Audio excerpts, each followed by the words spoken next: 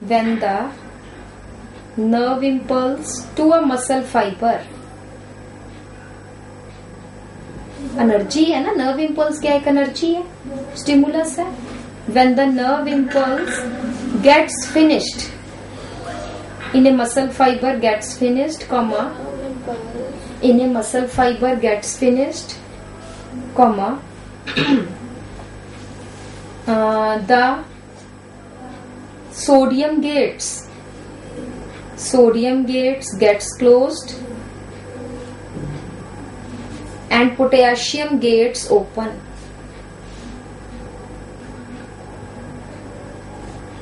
due to which sarcolemma again gets polarized sarcolemma gets again रहने देना gets repolarized Due to which the sarcolemma gets repolarized. Bracket में लिख लो negatively charge towards inside brackets में negatively charge towards inside bracket close ठीक है जी? It gets repolarize second point लिखिए the calcium ions calcium ions जो sarcoplasmic reticulum से बाहर आ गए थे, है ना? Calcium ions are transported back calcium ions are transported back in sarcoplasmic reticulum in sarcoplasmic reticulum by active transport. By active transport. ठीक है? नेक्स्ट पॉइंट है। Troponin and tropomyosin troponin and tropomyosin reverts to their original position reverts to their original position and thus blocks the and thus blocks the active site of actin. Active sites of actin. The prime next point है the primary filaments again comes back नहीं तो उन्हें धक्का देके आगे किया हुआ था। अब वो फिर अपनी पोजीशन पे आ जाएँगे स्प्रिंग की तरह। Again comes back to their original position.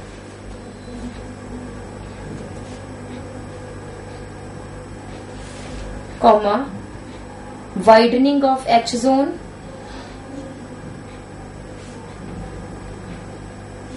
Widening of H zone comma widening of sarcomere.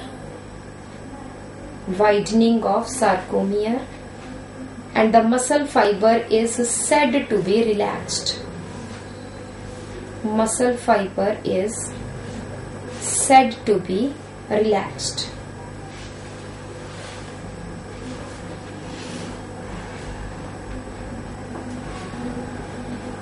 Next आ जाइए बेटा। एनर्जी चेंजेस हाँ। हाँ। इसके क्रॉस ब्रिजेस के कारण आगे जाते हैं तो ये कभी पीछे नहीं आते हो पीछे आ गए। पीछे आगे तो रिलैक्सेशन में तो वो आ रिलैक्सेशन में फिर पीछे आ गए। पहले हमने धक्का मार के आगे को किया था। है ना? मुझे स्प्रिंग जो है हमने धक्का मार के कस किया। जैसे उसको छोड़ा एकदम। जब हमने प्रेशर क्रॉस ब्रिजेस टूटे साथ ही वो अपने पोजीशन पे आ गया। अच्छा ये फिर से? फिर से। ये आ गया। चल। नेक्स्ट आ जाइए बेटा। Energy changes during muscular contraction energy changes during muscular contraction तो इसमें फ़र्स्ट पॉइंट लिखिए the main source of energy the main source of energy for muscular contraction is ATP.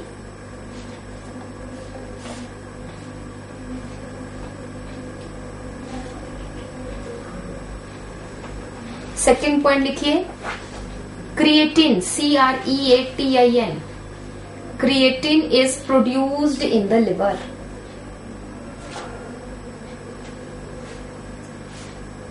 full stop in resting muscle fibre in resting muscle fibre some of the ATP produced some of the ATP produced reacts with reacts with creatine to form phosphocreatine. To form reacts with creatine. To form phosphocreatine. During contraction when required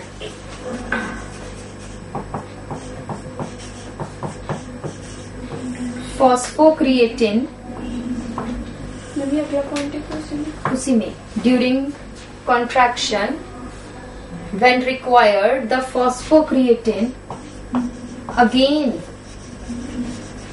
forms ATP which is used in muscle contraction.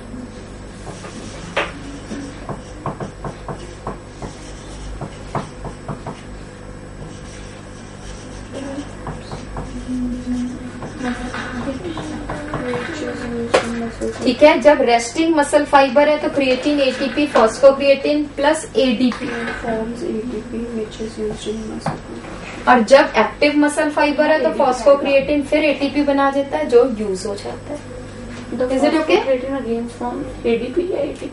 phosphocreatine again forms ATP next इसी में energy वाले में ही आ जाता है Cori's cycle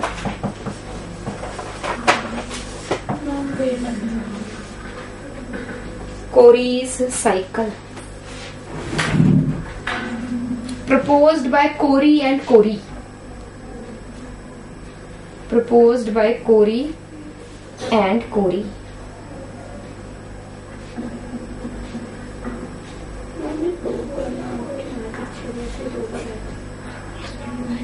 क्योंकि ये हस्बैंड एंड वाइफ ने किया कोरी एंड कोरी ठीक है जी उसके बाद नेक्स्ट हम आ जाते हैं बेटा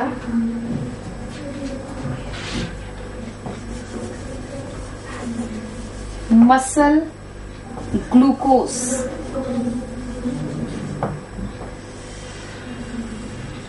क्या हो रही है इसकी? जब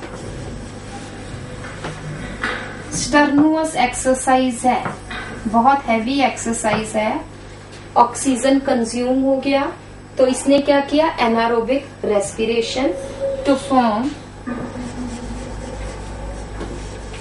muscle lactic acid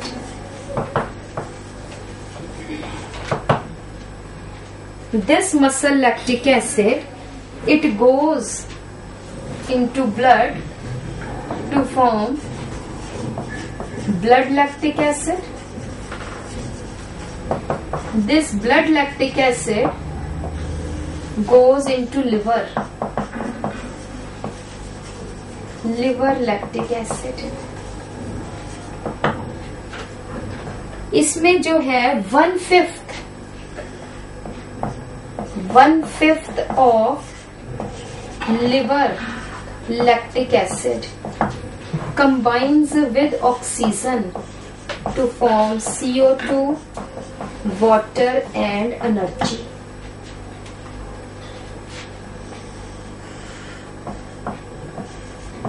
Four fifth of liver lactic acid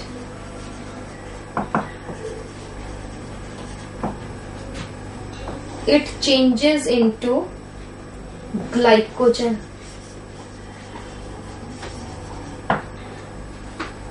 Glycogen then goes into blood और ब्लड के बाद मसल ग्लाइकोजन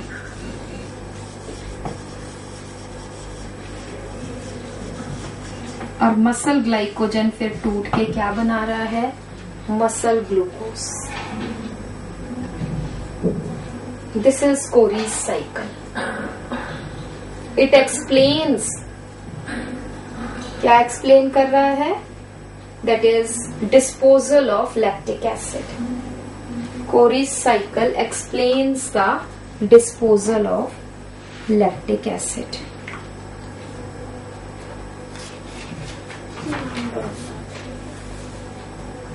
nervous system मैंने शुरू कराना है बस CO2H2O plus energy. हाँ।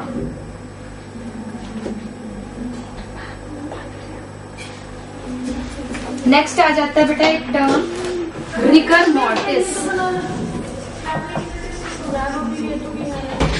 तुम बहुत धीरे धीरे कर रहे हो।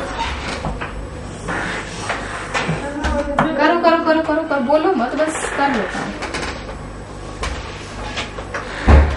आपने कराया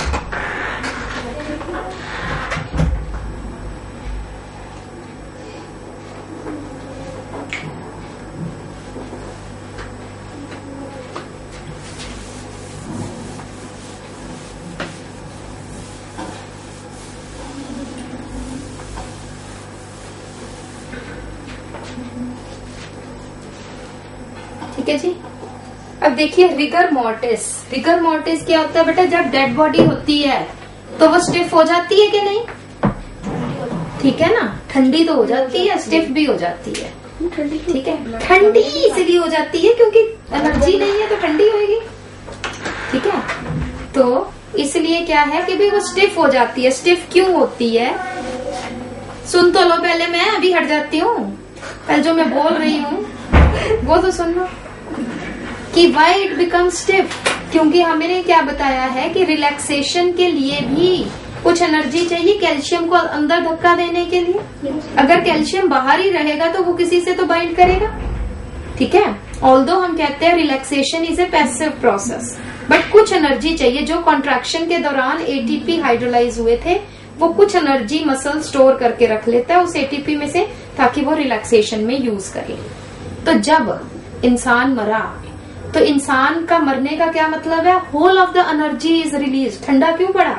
क्योंकि सारी की सारी एटीपी जो है दे इमीडिएटली गेट एग्जॉस्टेड जब एटीपी बचा ही नहीं तो इंसान मरे गए।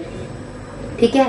तो जब सारे, और उस टाइम जो है ना, तुमने तुमने क्या, मैंने ये कह लो, मेरे मरते टाइम क्या है कि मैंने अगर मुठिया बंद की हुई है या किसी ने मुट्ठी बंद की हुई है पेन में है या समथिंग लाइक दैट ठीक है?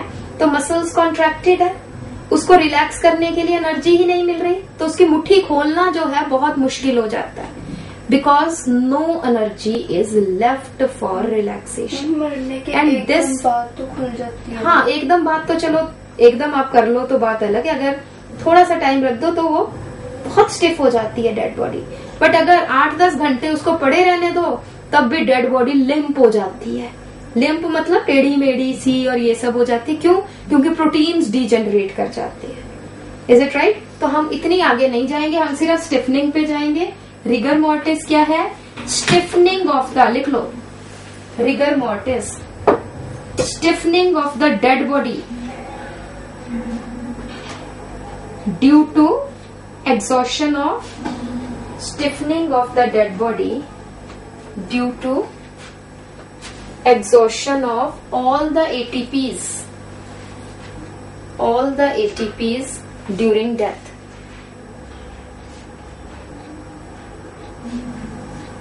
Due to which due to which the contracted muscles are unable to relax. Due to which the contracted muscles are unable to relax it disappears after 18 to 25 hours. It disappears. Rigor mortis disappears after 18 to 25 hours. When the body becomes limp when the body becomes limp due to degeneration of proteins. Due to degeneration of proteins और last term है बेटा एक summation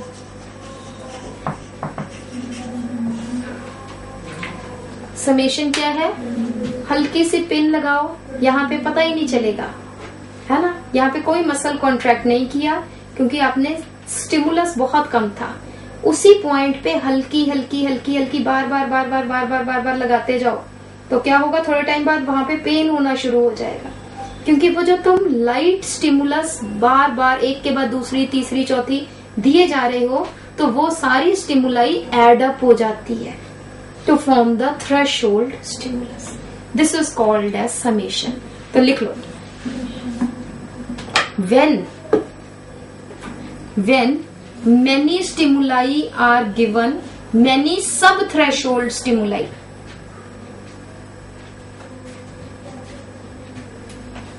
When many sub-threshold stimuli are given successively,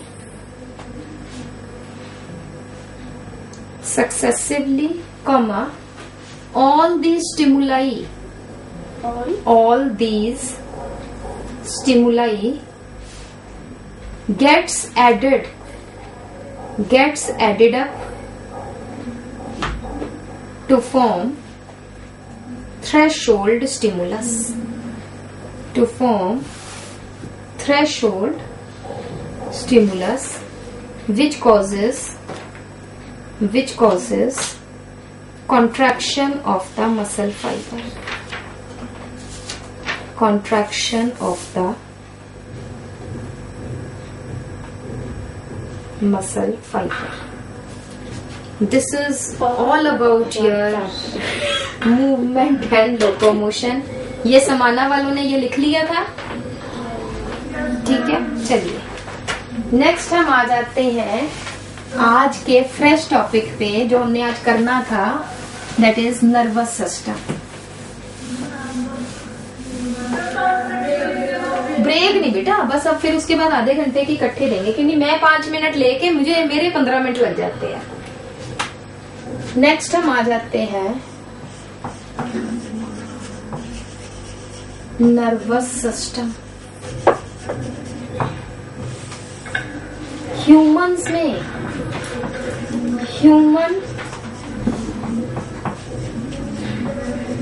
nervous system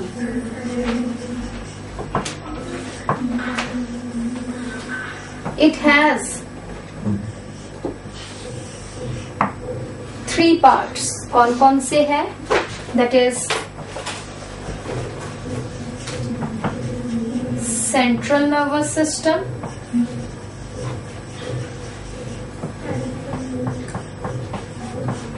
CNS दूसरा है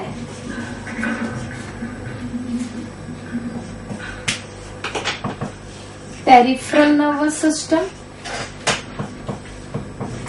PNS and the third is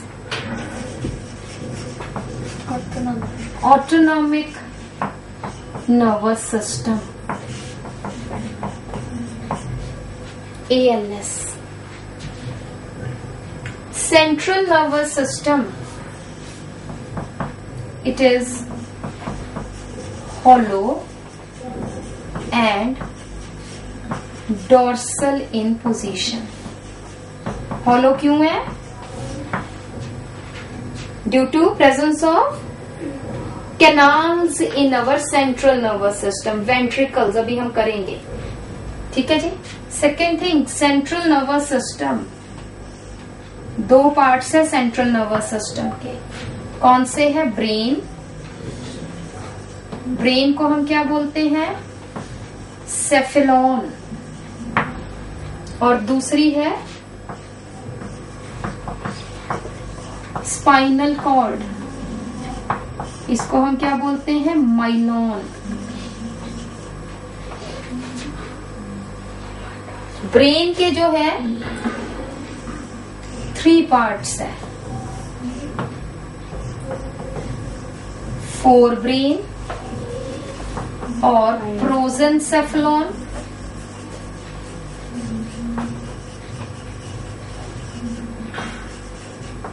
midbrain और mesencephalon hindbrain और rhombencephalon. Forebrain prosencephalon midbrain mesencephalon and hindbrain rhombencephalon forebrain, it consists of, यहाँ पे आ जाओ cerebral हेमीस्फियर्स मैं यहाँ पे लिख रही हूँ it consist of forebrain it consist of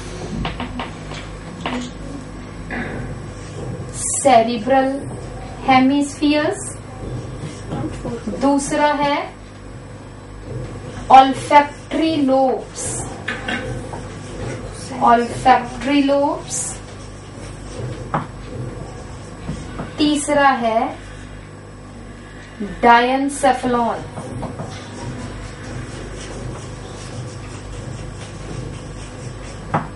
forebrain consist of cerebral hemispheres, olfactory lobes, and diencephalon. Midbrain. ये कर दू अब मैं? नहीं ये नहीं। लिखो जल्दी से। तीन नहीं करना ऑल फैक्ट्री लोब और वो लिख जल्दी से लिखना। ऑल्फैक्ट्री लोब्स और तीसरा है diencephalon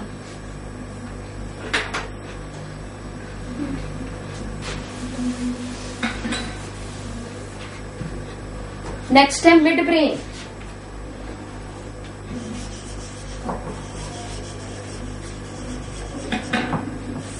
Midbrain consists of cerebral peduncles and corpora quadrigemina. Midbrain consists of cerebral peduncles ये मैं इसलिए बताई जा रही हूँ ताकि जब हम स्ट्रक्चर करें तो आपको ये नाम जो है ना, ये बड़े फारसी से ना लगे, बड़े अपने अपने से लगे, है ना? तो घर में ये एक बार पढ़ लेना। याद करने को अभी नहीं कह रही हूँ, याद तो हो जाएँगे साथ साथ बट रीड देम और नेक्स्ट है hindbrain. Hindbrain consists of cerebellum, pons veroli, and medulla oblongata.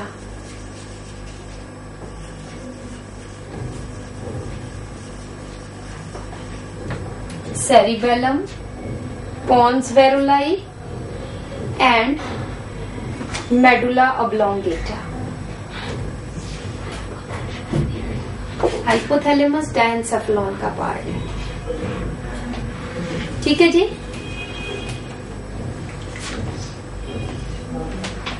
So this is a central nervous system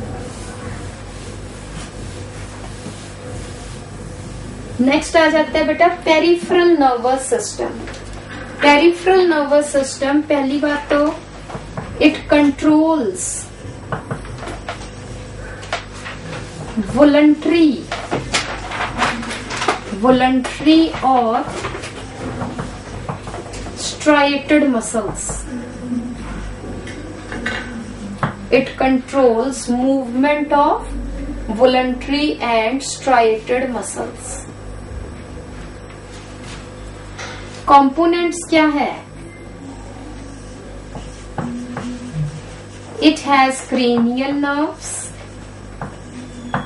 and spinal nerves. There are 12 pairs of cranial nerves and 31 pairs of spinal nerves. Two components cranial nerves and spinal nerves.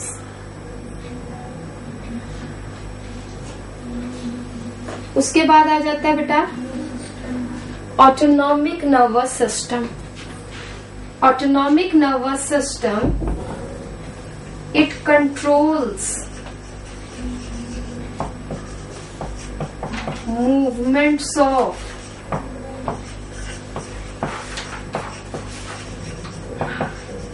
smooth muscles, cardiac muscles. And endocrine glands. And various glands. Not only endocrine endocrine exocrine jitni bhi hai and various glands.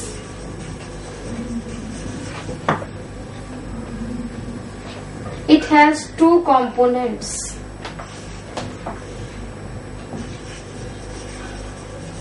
Sympathetic nervous system और दूसरा है parasympathetic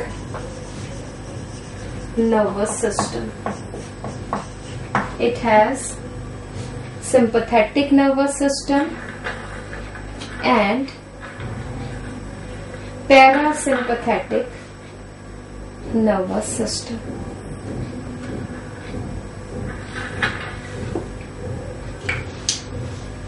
ठीक है जी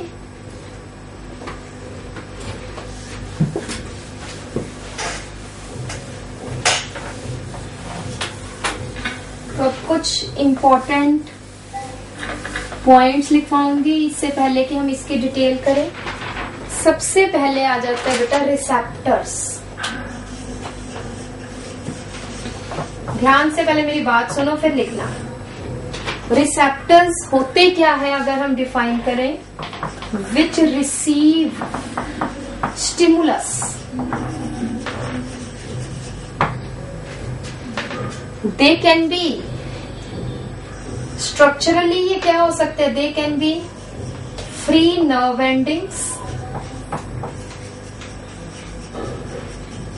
और they can be modified epithelial cells.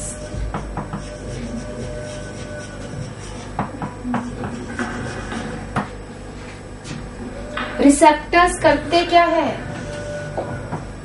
चाहे वो receptor ज़रूरी नहीं कि जो हमारे पाँच सेंस ऑर्गन्स है, उन्हीं में ही रिसेप्टर्स है। सब जगह हमने कहा है लंग्स में स्ट्रेच रिसेप्टर्स है। ब्लड वेसल्स में कीमो रिसेप्टर्स है। है ना? हमने बहुत सारे रिसेप्टर्स किए हैं कि नहीं किए हैं? तो हमारी बॉडी के अंदर भी रिसेप्टर्स है जिनका हमें पता नहीं चलता। स्किन पे तो है ही है, आँखों में है, कानों में है नोज़ पे है टंग पे है। ठीक है? यहाँ तो है ही है। बट स्टमक में भी है, हमारे यूरिनरी सिस्टम में भी है। बहुत जगह रिसेप्टर्स ही रिसेप्टर्स है। तो क्या करते हैं? रिसेप्टर्स का क्या काम है? इनको हम और क्या कह देते हैं? ट्रांसड्यूसर्स क्यों बोला? कन्वर्ट स्टिमुलस चाहे वो मैकेनिकल है, चाहे केमिकल है stimulus into electrical impulse.